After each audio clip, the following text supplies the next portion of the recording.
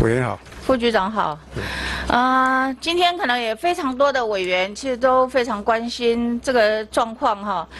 局长在三月份的时候，美军所属的伯克级驱逐舰贝瑞号其实就在南海首次的实弹操演，而且它发射了一枚飞弹。四月份对岸的辽宁航母舰队又绕行我们的呃东海东部海域，甚至传出有包围美军舰的事件。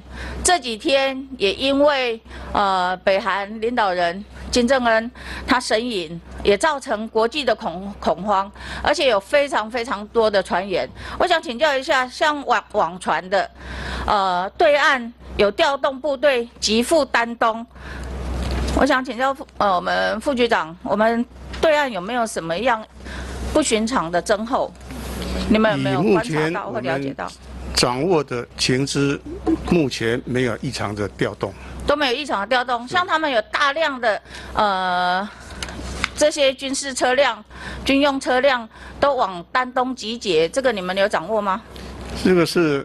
这个媒体上的报道，是媒体的，是那个社群的那个传传铺的那个相片，这只是他们的这些确实的地点在哪里？我们还在查证，所以还没有确定。所以现在我们要提醒的是，如果有国安局，应该要利用各各式各样的管道，让我们国人保持忧患意识，然后大家提高警觉，随时应付突发的状况。如果没有，这纯粹是捕风捉影、穿凿附会、散布这样的讯息，引起大家的恐慌，也会造成我们民心不稳。国安局也应该立即的出面驳斥，不要常常常只是在跟调查局配合啦，要做什么假讯息。其实这个部分，我觉得对人民的影响其实是很大的。国安局必须要安定人心，或者提醒国人要有忧患意识。我觉得这是我们应该要做的。是，我们会协调，呃，权责机关来做做澄清啊，哦，包括对岸的一些基建动态、军力的调动，大概国防部都会有所掌握，他们会在适当的时机对国人做说明。不过我们到现在为止啊，这这一段时间，从疫情发生前、发生中、现在发生的当下，或者疫情后，我们不断的在提醒，包括国安局、包括国防部、包括其他相关的单位，我们也不断的提醒。可是我们看不到目前有什么样具体的分析或做法，包括我们的业务报告也都没有。我想要请教一下，如果说北韩，他。金正恩真的发生了什么样的状况，或者甚至是死亡？对于他的接班人选，国防部有没有？呃，我们国安局有没有什么特别的想法？因为其实呃很多的大国都有他们自己支持的爱好者，在北韩有可能引发代理人的战争。当国际的注意力或者可动用的局部的战力都投入在北韩。那一方面的话，有没有可能让对岸也觉得有机可乘？这个部分我们有没有一些分析，或者说在这场大国北韩代理人之争的情况之下，我们要怎么自保？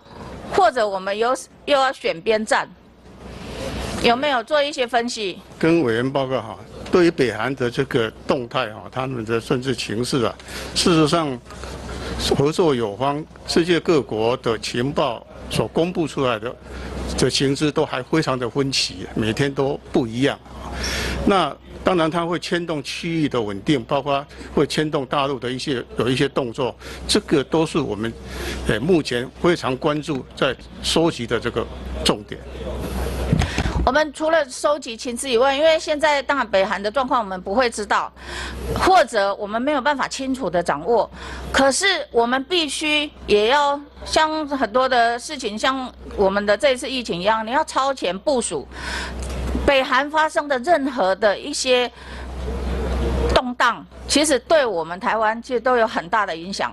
因为像呃金正恩的接班人选。我们可以事先去预想，美国支持的，北韩当局目前国内比较支持的，甚至或者是中共比较支持的，他们每一个的背后的代理人都是不一样的角色，这个牵动到对我们的影响也非常的大。南北韩，我们过去一直在讲，他们如果走向统一，也许这只是时间的问题。当初我们第一次提出来的时候，那时候他们剑拔弩张的时候，我记得我提出来说，南北韩如果他们做了和平的协议，或者甚至朝向统一的方向来走的时候，那时候国安局是觉得不予置评的。可是后来真的，他们就是坐下来谈了。他的很多现在世界的局势都在往前移，也许本来预估十年以后才会发生的事，提前到五年。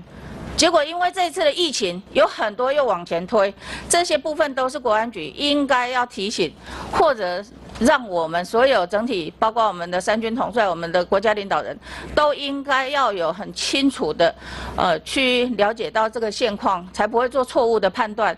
因为我们到底是不是跟对人，对我们国家的安全跟发展非常非常重要。我们一直跟。逆着世界潮流，我们在国内的疫情是顺时钟，可是有一些做法，我们是逆着世界的潮流，因为包括像我们周边的国家，日本、韩国，尤其是菲律宾，他们都已经选择不靠单边，过去他们都只听美国的，跟美国是合作无间，可是现在菲律宾跟美国的军事同盟可能会结束。中韩的关系也越来越好，日本也是选择跟美国、跟中国都保持友好的关系。